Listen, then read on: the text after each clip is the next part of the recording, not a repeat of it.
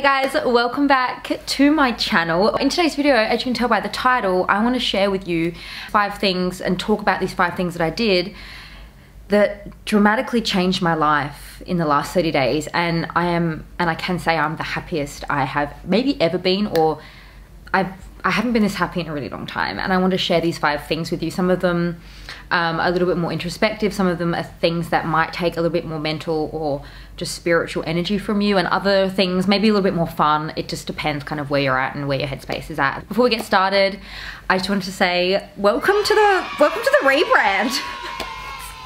If you are interested in these topics that I will be sharing in today's video, I would love it if you would consider subscribing, sticking around, joining me here, because it's something that I'm currently doing, navigating through my late 20s, trying to find a lot more meaning and purpose. For me, number one is I started having really difficult conversations with myself that I think being honest with myself, I was ignoring having those conversations and I was kind of shutting those conversations and that internal dialogue down. As soon as I started having those really difficult conversations with myself and, and being honest with myself, I started to feel certain shifts within inside me. And I think that this very well may apply to you you know if if there is something you've been ignoring if there is certain blockages or negative feelings or negative situations or emotions that you're experiencing long term there may be some really difficult conversations that you might need to have with yourself and maybe you've been ignoring. And i know it's so easy to ignore them. I know it's so easy to just like oh we'll put that in the you know tomorrow basket because i'm not doing that today. And i think the more you do that it will eventually come to a head and it I've experienced this anyway. Like the more you kind of push certain things away and the more you push certain conversations that you need to have with yourself away, they kind of manifest in other ways within your health, within your your your spirit. It may just end up leading to you having a full-on mental breakdown because you know there's only so long that you can go ignoring conversations that you may need to have with yourself. I don't know if this is for you, but definitely in my case, I found it to be so easy to kind of push those feelings or thoughts away to the side. And I've now only recognized the power of my intuition, not only mine, but just women's intuitions in general. And I think that intuition is there for a reason. And the more that we ignore it or push it down or brush it away, I don't think that can really ever truly die, but it can really, re- you can really put it to sleep and it can be really hard to wake up the, the more you ignore it. And I know to some of you I may sound crazy talking about having conversations with yourself, but it is important. It's not only important to have these conversations with yourself, I think it's also important to listen to yourself. For so much of my 20s, I really struggled with, well, like I feel like I've lost my intuition. I don't even know like what what's real and what's not. Like what do I really want? Like what what is my heart and my head telling me? And I think for me the biggest realization was for me really being able to differentiate between my anxiety and my intuition and my deep inner wantings and my inner voice. As soon as I could differentiate between my anxiety and my intuition, um, it definitely felt a lot i felt a lot more free and um, making decisions on a daily basis that align more with my intuition has been a lot more beneficial than just answering to my anxiety. So number two a little bit more light-hearted and a little bit more fun but definitely a lot more labor intensive but i honestly am so glad i did it this way. If you follow me on instagram you may have seen these photos. I now have a garden. I now have a garden a very humble garden yes but a garden nonetheless. I've never really had flowers and trees and like things that I've actually been able to look after and it has been really beneficial to my mental health. And I'm gonna have a list of the benefits of gardening um, and even just houseplants which I will touch on later. It's funny how in my earlier 20s I was very much like no like fake plants are the way to go. It was it was easy. It was kind of like hassle free I didn't have to take care of it. I didn't have to worry about it. I didn't have to maintain it. It just there it was, throw it in, and there we go. And for me, it started with a herb garden. I started with a herb garden, and then I kind of progressed to potted plants. And you know, my boyfriend has chili plants now. I have a strawberry plant. I could rattle off all the different plants that I have, but it's definitely been a bit of a slow process and I'm glad I did it that way but it's definitely made an immense difference to my mental health. For months was debating oh like should I just like hire a landscaper or should I just pay someone to do it and I'm really glad I didn't. I'm really glad I went ahead along the route of doing it myself and I mean major props to my boyfriend for actually helping me um, because it is tricky. It's hard, okay? I'm not the strongest being and some of those soil bags are like 30, 40 kilos. It took about two or three weekends to really kind of nail it down. There was quite a lot of trips to the garden center quite a few Saturdays were spent kind of removing all my fake plants and replacing them with real living things. Driving home from the garden center one day and I had this realization that I'd made all these changes to my outside space that really were making me so much happier um, and so much more calm. But then I thought, oh my God, like I had completely neglected the inside of my house. And to me, like with my deep thinking, it was just such a reflection of what it felt like my life was at the time. Like I had spent so much time and so much money on the exterior for so long, you know, like how everything looked. It was kind of a reflection of my life, even just with my indoor fake plants, you know. As long as they looked pretty, as long as they looked real, it didn't matter what what they actually were internally. They were lifeless, dead, they weren't even dead, they were fake. They were lifeless. And if that wasn't a representation and a reflection for some areas of my life, I don't know what was. But I have noticed that since kind of transitioning to more real plants, I am just so much more happier. And I love this routine of, you know, 5, 5.30, sometimes 6 o'clock, you know, when I switch off the day, I get away from my computer, I go outside and I fill up my watering cans and I just go have a look at them all and I put my finger in the soil and I touch the leaves and I say hello to them and I smell the roses and it's just such a nice feeling. I think I'm almost suffocating my plants a little bit. Like, I guess, you know, some would almost uh, like drowning them in love. You know, sometimes, some days my boyfriend is like, step away from the plant, drop the watering can, step away from the plant. It does not need it. Like, sweetie, it's literally rain today. They do not need to be watered. I get it. I know you love this, but you don't have to water them. Just, you know, admire them, talk to them if you must, but just put the watering can down and step away from the plants. You will literally drown it with your love. And that's been a real challenge for me because I just want to water them every day because I, I really enjoy it. And, and just one quick story before I wrap up this point when I went to the garden center to, to, pick some of my indoor plants, you know, the woman was so helpful and she basically gave me, and she didn't say it, you know, I said it, she was too nice to say it, but she pretty much gave me, I think, like really great beginner plants, indoor plants for dummies she gave me. And she, before she sent me off in my car with these plants, she had me like lift up them, like lift up the pots and she was telling me, okay, this is how they feel. This is how um, a healthy watered plant, this is how heavy it will feel. Okay, this is what you're looking for. And I remember telling her, oh, okay, okay. And it, to me, it was so hard. I'm like, oh my God, how am I going to differentiate between like, I'm not going to remember how heavy this is in a week. Like, I'm not going to remember this exact weight that it needs to be. And I said, okay, I'm going to go home and I'm going to, I'm going to stick these plants on my scale and write down the exact, this is how like crazy. Um, I'm going to write down the exact grams of what these plants weigh. So every week I can weigh them and I can see, oh, are they the same amount? Are they not? Do they need water? Do they not?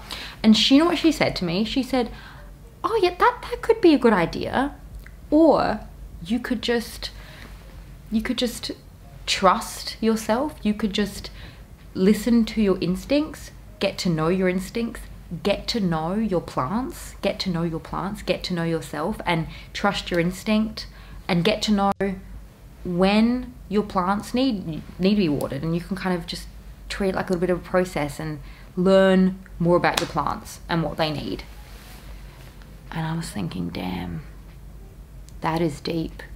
And she's she's good. Here I was trying to, you know, figure out exact numbers and do it with so much structure and like weigh them and almost in like such a black and white instruction manual way of like, okay, this is how much they should weigh and this is how much water I may need to put in to get to that. No, no, like truly no, okay? And that was when I realized, no, like this is an opportunity for me to get to know a plant and not only like get to know and trust myself because there has been so many times in the past where I look at something, following information as opposed to listening to myself. Again, another rambly point, but house house plants, okay? House plants and a real garden. And you know what? Fake plants may work for you. You may have um, you may have a really busy schedule. You may travel a lot. Um, and maybe you can't switch all of the plants, or maybe you can't even, maybe you don't even have any house plants just start with one, okay? Even if it's a tiny, even if it's a tiny little house plant. So it just like brings life into your space. It's a beautiful thing. And I may sound a bit hippy dippy, but reconnecting with nature and having a garden has been wonderful. Next point, number three, I have um, enrolled, I've re-enrolled in study and I've actually taken up um, and I'm now part of a course that's kind of related to something else. And I know I'm not really giving anything away. I think at one point maybe I'll talk about it, but yeah, I've just recently re-enrolled in study um, and I'm really excited. I'm really enjoying it so far. And this was another point, but I've just included it in this because it kind of falls under the category of education. I, I love to read, I'm an avid reader, and all of last year I basically solely read fiction and I am someone who loves fiction books but I have now switched up my fiction and also started to incorporate more non-fiction into my life. You know, I don't have a lot of responsibilities right now. I don't have like kids or a family or anything like that. Um, I do have Flynn, but and now my heart, now my house plants, but they don't take up a lot of time. So you know, dedicating an hour every night to this course, or just like a couple of hours on the weekend, works really well for me. But if that's not something you can do, I definitely recommend incorporating some education back into your life that's something for me that's really i've always enjoyed and i think i kind of strayed away from that a lot and i think it is quite easy isn't it? Like it's so easy at the end of the night when you're exhausted. It's so much easier just to get into bed or flop into bed and just like scroll the TikTok or scroll the Instagram and I'm very much guilty of that don't get me wrong but I think that reconnecting with um, that that part of me that has always been there. I've always been someone that really loves learning and is very curious, and I, have always been this way. I love education.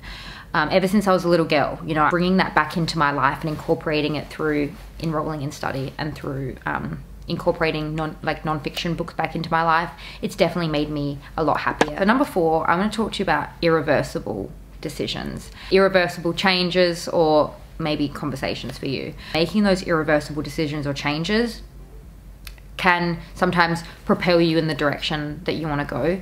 So I guess for me, the example I'm going to share with you, because I don't want to get too much in my personal life that does involve other people, example I'm going to give you is my YouTube channel. So you may have seen this video, the last one I made, sharing with you that I was no longer going to be filming and creating content about the old topics that I was sharing. And I didn't have to do that. I didn't have to come on and make such a blanket statement and share that with you. I could have kind of, you know, had like one foot in each bucket, if you will. But that wasn't serving me because I'd already kind of felt like I had one foot in each bucket for like over a year. And I needed to make an irreversible decision and a big enough change for me to realize no, I'm not going back. We're not doing that anymore. And for me, that came in the form of literally publicly like speaking my mind and telling you this is it, this is done, I'm done. Making that irreversible statement, to me, that to me again it felt irreversible, was the way I needed to go to create change in my life. So sometimes having a conversation, saying something that you know you can't take back, once you put enough commitment in something, like once you put money behind something, booked something that's non-refundable, made such a bold statement, you don't really want to go back. Like you're in you're going this way now. And sometimes that's what it takes. And number five i think a really such a simple thing but it's a lot of us are so again swept up in our day-to-day lives and our busy lives that we either forget or we don't make time for these things. Um, and for me in the last 30 days picking up new hobbies has been a really great mood booster for me. And it's really added a lot more happiness to my life. So some of the examples that i have um, i went to a croissant making class. It was a two-day class I have a new appreciation for the art of making croissants. Confession, this one's been something that I've been working on for the past few weeks. I don't know how to swim, okay? I'm not a confident swimmer. Maybe you didn't know that about me, but it's kind of crazy. You know, I live on a giant floating island country in the middle of nowhere and I don't feel comfortable in the water. We don't have time to get into why I never learned how to swim as a child. There is a, there is a backstory there, but today's not the time for that. But just know I am not a swimmer and and that's not true. That's an identity that I'm no longer resonating with. I did not used to know how to swim. I am now in the process of learning how to swim. I am taking private adult swim lessons um, and every time I get out of that pool, gee Louise, I am exhausted. Okay, I'm so exhausted, but the level of accomplishment and pride I feel for completing that is unmatched. It's unmatched. Um, I love my swim instructor. She's lovely. This has been something that I've been saying that I've wanted to do for the last few years, but never really got around to it. That weirdly, like these things equate to happiness, but in the moment they're not enjoyable. Like I'm still trying to figure out if I just don't like swimming um, because I, I'm just not a water baby, or if I just am really bad at it, which is contributing to how much I don't like it. and it's like, I'm not giving up. Okay, I'm not giving up. I'm still showing up to those damn lessons, but I don't like it. Okay, I don't like it. And I think part of it's probably because I don't like it because I'm not good at it, okay? I'm when I tell you I'm choking, okay? I'm swallowing water, I'm coughing my guts up. There's water in my mouth, in my nose, in my throat, in my ears, okay? And then I'm worrying about the 4-year-old children that are there for their class like they arrived to their class 5 minutes early. Um, while mine's still going and I'm like, oh my god, they're judging me. They're judging me. No, they're not. They're 4 and 5, okay? 4 and 5 year old children don't judge. Um, and like it is it's a level i love cardio but this is a this is a form of exercise that is so foreign to me. It is exhausting so exhausting. And it's really again a great lesson for life. And again this is something that my instructor just told me last week. She said caitlin i know it's really hard but I want you to try so hard. And whenever you get water in your mouth, or whenever it gets in your ears, or whenever it gets in your throat, I know it's like instinctually so hard to do, but please just can you just please try to just keep going. And if that is not a motto for life, I don't know what is. Okay? It is it is teaching me a level of resilience. And I don't know about you, but when was the last time you did something that you feel so out of like I am like a fish out of water. I'm out of my depths, okay? I'm out of my depths in this tiny little pool. This is a shallow pool, by the way, and I'm way out of my depths. Like, and my question to you is when was the last time you did something that you felt stupid, embarrassed, or so out of your depths to do? Um, and it is like it's retraining parts of my brain because as soon as I swallow water, as soon as it gets in my ear, my first instinct is to just freeze and jump up and go, eh, eh, eh, I'm drowning, when I'm actually not. Um, and that kind of that is like retraining my brain to just you know what? We're okay. We're we're okay. Just keep going. You know just like dory said just keep swimming just keep swimming swimming swimming. What do we do? We swim swim swim. Um and it is really, like, don't get me wrong, I hate it. I hate it. I'm not giving up though. And weirdly, I'm doing something on a weekly basis. Now I've increased it to twice a week. Crazy, I know. And I hate it. But I'm sticking to it because as much as I hate it, when I finish it and when I jump out that pool, I feel really great. And I it's it makes me feel good. It's a it's a wonderful feeling. So this was a really long-winded video, um, but I really hope that you took at least one or two things away from today's video. Um, and share with me in the comments down below what's maybe been contributing to your happiness if you felt extra happy in the last month or something that you've changed something that you recommend um, and it's really made a difference to your happiness or share with me if there's anything from today's list that you're going to try or you're going to give a go or maybe um, I've encouraged you to take up swimming or like cooking classes or something that um, improves your happiness in some way. I'd love to hear from you in the comments down below. Thank you so, so much for joining me in today's video and I'll see you in my next one. Bye.